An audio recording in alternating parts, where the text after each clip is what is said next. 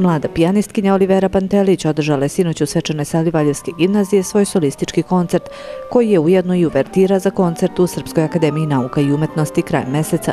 Na programu su bile kompozicije Hendla, Klementija, Markovića, Skrabejna i Lista. 2008. godine sam upisala fakultet muzičke umetnosti u Beogradu. Prošle godine sam e, diplomirala i ove godine nastavila studije. Ehm, 28. oktobra ću imati koncert u Srpskoj akademiji nauka i umetnosti i tim povodom pravim koncert naravno i u svom gradu. Inače, džak sam eh, srednje muzičke škole, bila sam džak srednje muzičke škole u Valjevu i naravno da mi je drago da prvo taj program odsviram ovde, u svom gradu i pred ljudima koji su me slušali od već od perioda kada sam već tek krenula da sviram klavir. Neki planovi su da posle ovog koncerta započeo nekakav novo program na uh, ovom, da kažem, stepenu studija uh, i naravno svake godine će, nadam se, biti nekih nastupa u okviru i moje klase.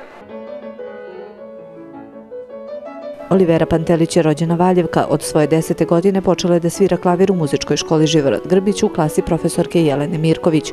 U toku šestogodišnjeg osnovnog muzičkog školovanja osvajala je mnogobrojne nagrade na domaćim i međunarodnim festivalima. Kao istaknuta učenica Srednje muzičke škole Živorad Grbić pohađala je i kurseve profesora Jokut Mihajlović sa Fakulteta muzičke umetnosti u Beogradu i Hinka Hasa sa Muzičke akademije u Ljubljani. Kao solista i kamerni izvođač nastupala je na brojnim koncertima, a tokom 2010. i 2011. godine bila je član hora Collegium Music pod rukovodstvom dirigenta Darinke Matić-Marović. Sada je članica Hora Brašević i Hadži Ruvim u Valjevu. Diplomirala je 2012. godine, a trenutno je student specijalističkih studija na Fakultetu muzičke umetnosti u Beogradu u klasi docenta Nataše Mitrović.